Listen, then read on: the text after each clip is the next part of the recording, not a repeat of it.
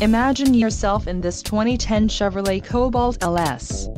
If you are looking for a first-rate auto, this one could be yours today.